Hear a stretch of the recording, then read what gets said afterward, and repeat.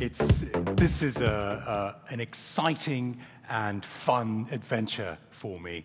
And uh, the, talking and communicating with everybody in the Hedera community, bar none, I get this feeling of, uh, oh, that's amazing. And the synergy and the energy um, that's created is incredible. It's a treasure which I think we need to um, sort of preserve and evolve um, because it's, it's really fantastic.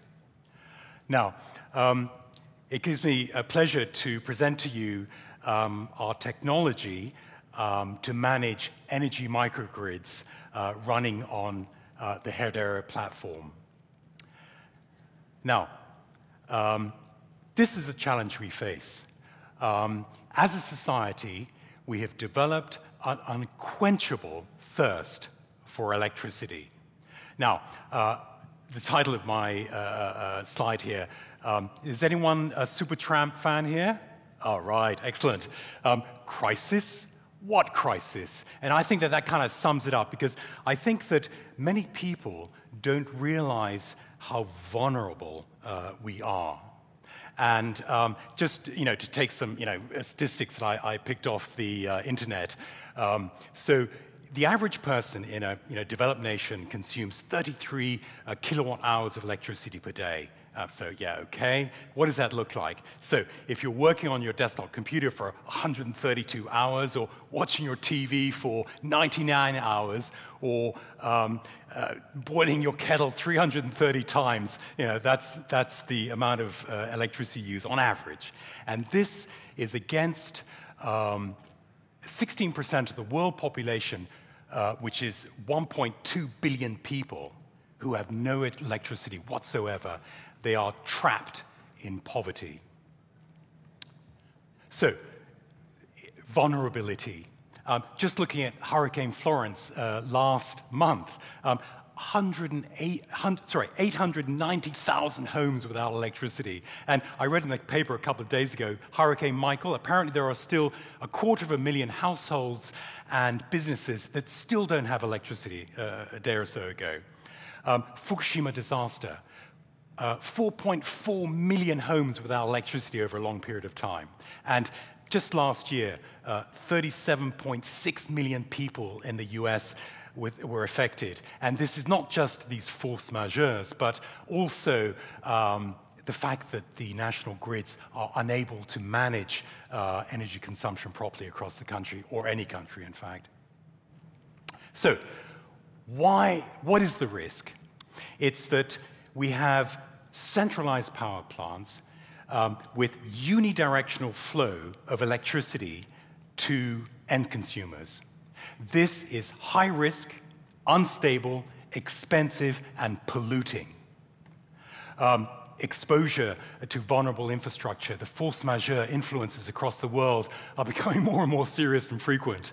Um, fluctuations uh, and say you and me were watching like the World Series or um, the World Cup final, and the whistle goes for halftime. We go into the kitchen, flick the kettle on for a cup of tea, throw up some uh, pizzas in the microwave, okay? That's cool for you and me. But imagine 100 million people doing the, the same thing. And that, to the, micro, uh, to the uh, national grid infrastructure, is difficult to deal with. Tenuous procurements. Now, the United Kingdom is buying almost half of its electricity from nuclear power stations in France on these EC contracts on the cusp of Brexit. Um, Germany is developing gas pipelines to Russia with, with Putin to fire up its, its, its, uh, its plants to generate electricity. Prices are going up and up. Now, does any of this give me a warm, fuzzy feeling in the tummy? I don't think so. Okay? Um, so, what do we need to do? Uh, electricity must evolve to an omnidirectional generation, storage, and consumption network of interconnected microgrids. This approach is cheap, robust, and safe. And we can offer energy stability through these virtual power plants uh, communicating with the national grids, risk mitigation um, from all of these sort of force majeure events that are occurring more frequently, uh, individual and community empowerment for the management of their own energy. Massive cost reductions through economies of scale I mean, if you look at like the price of photovoltaic cells versus um, you know the price of kilowatt hours, it, it, it shows you. Um, new investment grade opportunities, microfinancing can become a sector unto itself, running on our platform of uh, financial and electrical value and then we can help nations achieve their sustainable development goals according to the Paris Accord, COP21, et cetera, and set the pathway uh, to inclusion for communities who are deprived of electricity and trapped in poverty through microfinancing and technology, and then encourage the democratization of energy. So, there are prerequisites uh, to, uh, to uh, running a efficient uh, uh, microgrid. High performance. I mean, you can imagine, you know, the tokenization and consumption of kilowatt hours of electricity, massive amounts of, of data. Accurate, customizable reporting to all the different types of stakeholders. And of course, security, governance, and stability. Um, all done in an environment of low energy transactions okay, uh, which is exactly the opposite of what Bitcoin and Ethereum do, but I don't want to go into that. But Hedera ticks all the boxes, okay? Um, so we have information processing at three levels. We have transactions, we have payments, and reporting. So um, transactions, that's all the tokenization of electricity that's produced and then consumed, and the smart contracts in between to, to manage all this. The payments are the, um, the financial settlements between all of the various stakeholders, and reporting must be customized to each stakeholder, and there are many. Oops. To achieve this, we've created two distinct um, database architectures. Um, one is a 100% decentralized database where each node manages its own information and uh, following consensus is, is synchronized across the whole network. And the other one is a centralized database where um, the nodes interact with the database uh, following conce consensus uh, among the participants uh, according to a set of predetermined rules, and these rules can be edited and evolved. So this brings it all together. Um, so in, in, green, we have uh, uh, all of the transactions. In, in gold, we have um, the financial settlements among the counterparties. And um, below, we have the reporting in silver, which is, of course, I say, in, in structured data format so that each of the stakeholders can receive the information they're looking for in, in the format they need. This is a high-level uh, architectural view of a um, project that we're currently uh, underway in uh, the United Kingdom, Corby Glendale Eco Homes. We have shovels in the ground and software development underway.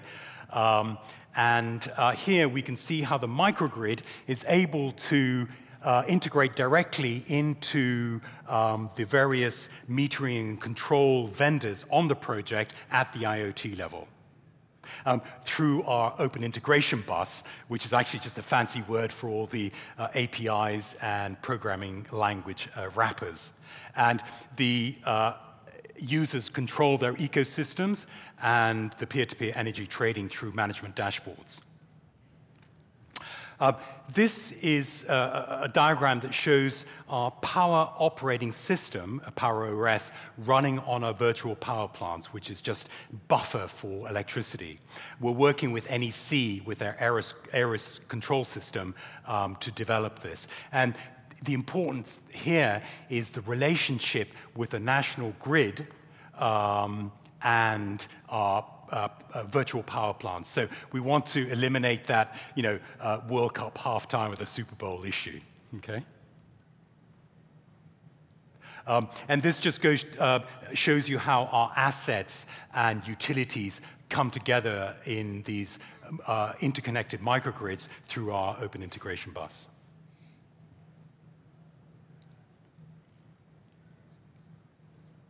Huh? Oh, so this is a video. Unfortunately, I'm not able to show you um, the real thing, which is really, really nice.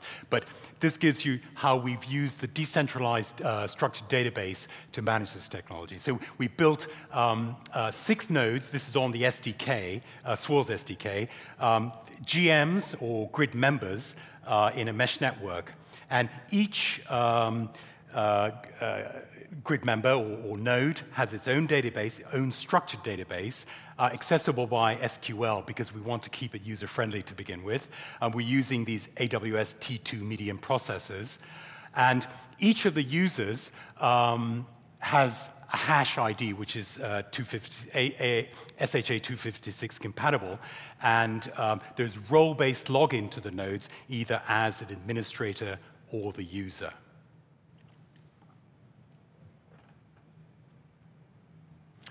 So um, here, across the top are the tabs in my, each one is a, um, a URL for the node in Amazon AWS uh, Cloud.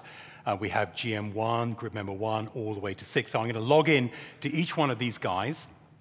And um, I want to show you um, how each of the nodes has sort of like an individual identity uh, and how they interact with the microgrid.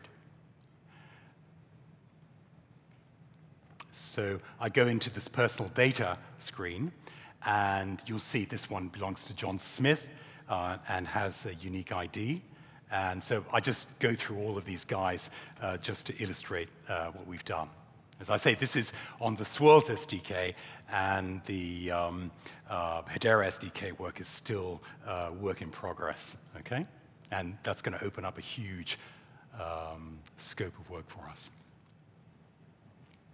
So then I'll go to GM1 and just give you a quick uh, overview of the screens we have. So we have an analysis and microdata, uh, which gives you like an analysis or analytics of, of the overall microgrid situation in terms of capacity and income that it generates. So this, as the microgrid evolves, that increases. This one gives you the configuration of each of the nodes, and this is important because as the microgrid, as I add micro, uh, solar panels and things, um, this, you know, the whole thing becomes more um, productive. So now I'm going to give you um, a, a, demo of um, how the, um, sorry, this is the, the bottom screen is the, um, how each of the node members, each homeowner actually, is able to uh, input data of their configuration, income, and uh, production. So I'm going to log out of um,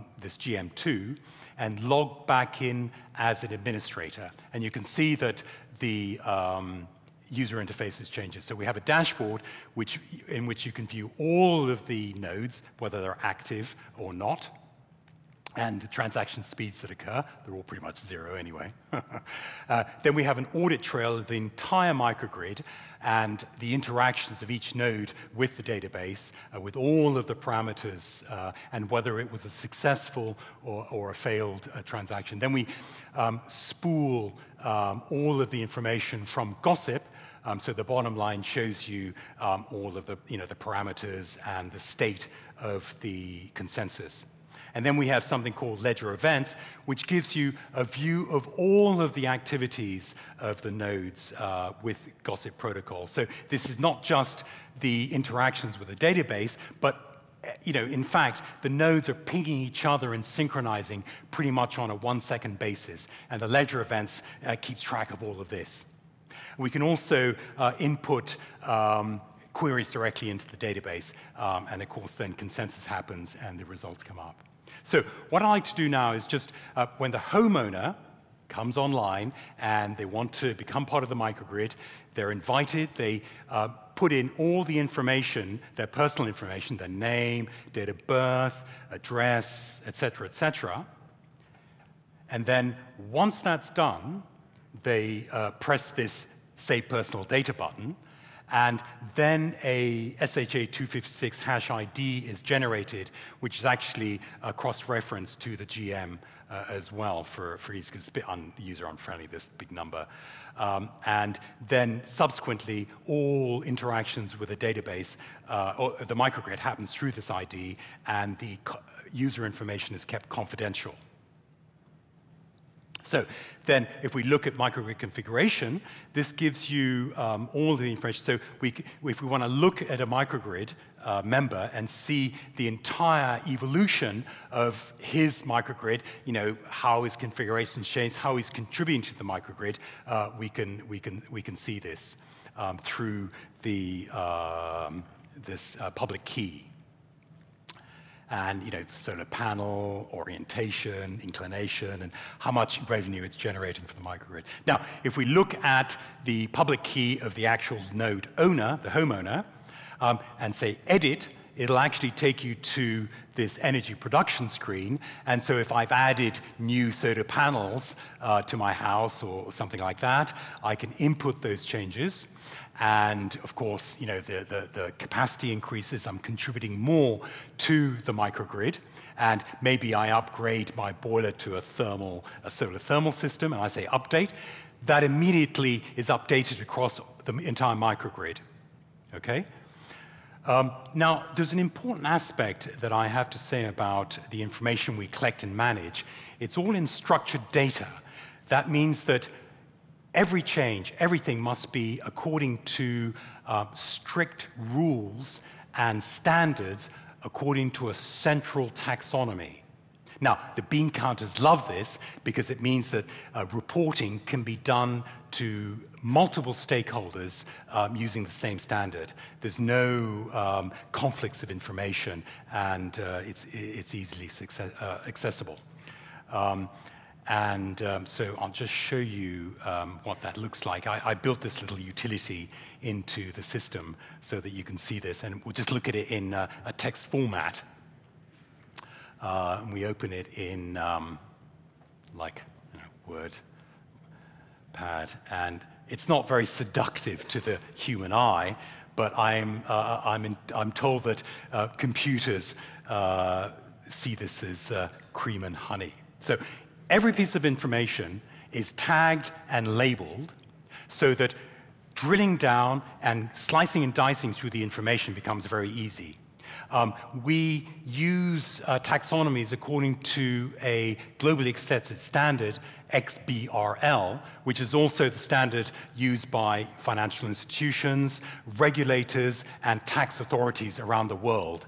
But it's not limited, it's infinite in scope, uh, and that's why uh, we use it. So you know, here's timestamp with, with its specific tag and label. This is the sort of like unglamorous side of computing, I'm afraid, but it is an essential underlying thing to you know, give uh, governments uh, what they're looking for pretty much in reporting. So now I'd like to show you um, how the gossip protocol, um, following consensus um, with interactions of the database, um, synchronize across the entire microgrid. So GM4 is logged in as a user, and as we've seen, GM5 is logged in as an administrator. And you can see that um, the last transaction of um, the microgrid was GM3 uh, creating an update uh, which was successful. So we go back to the user, um, and a lot of this information can be um, updated automatically eventually, but in our proof of concept. So annual heating bill is re reduced, maybe the uh, household has had a baby, and they put an extra bedroom in, they say submit, and this information is, is, is reflected across the entire microgrid. And so if we look at GM5 again, uh, we can see that GM4 has uh, updated successfully. Uh, and all of the information you can see, uh, six bedrooms and stuff, uh, is there, uh, which is pretty impressive. I must say that this consensus using Hashgraph is very efficient and effective. Okay? Now, I'll just give you one more demo um, which is when a user you know, updates uh, his home uh, and node. So um, he goes to his energy production screen, And you know, as I say, maybe he's gone out and bought some new equipment, which contributes to the overall economy of uh, the microgrid. And as I say, all of this can be updated automatically in full production. So we increase the, the size of the, uh, solar, you know, the surface area of the solar panels. Um, maybe we improve the inclination of the solar panels because that all contributes to the income. And um, you know, the heating output is increased. Uh, and then um, once that's updated, um, that's reflected across the entire microgrid. Uh, and then if we look at um, the administrator in tab 5, it's a bit slow, um, we can see that GM1 has also uh, been successful in its update across the entire microgrid. Okay? And the GOSSIP protocol, you can see the last entry. This spools directly from GOSSIP, and all the parameters are correct, and the stat status of the consensus is true. And then we look at ledger events, and um, we can see that uh, that's there as well among all of the pinging uh, between the nodes. Now, I know that this is not very user-friendly, uh, just like a lot of this blockchain stuff, you look at these reports and these numbers and big long things, sort of like, what am I looking at? Um, but as we go on and the, uh, our because of the fact that all the information is cross-referenced UUIDs, uh, transaction IDs, timestamps, etc., it's very easy for us to customize the reports according to the exact needs of the user, which we can do. Now, just summarizing this information, so we have across all of the microgrid, we have the total surface area, uh, geothermal, and uh, solar panels, and this is against the overall income of the microgrid, okay? And um, this information is also reflected um, graphically. So we have uh, capacities and income versus the kilowatt hours uh, of you know, the various um, uh, methods. And we also keep a statistic of the sort of equipment that is used in the microgrid. So you know, this you know, helps for optimization and stuff. So I know this has been kind of a lightning uh, tour, uh, and I've only touched upon some of these uh, functionalities, but you know, so please reach out to me if you have any uh, further questions, and it will be give me a pleasure to communicate with you. So, thank you very much.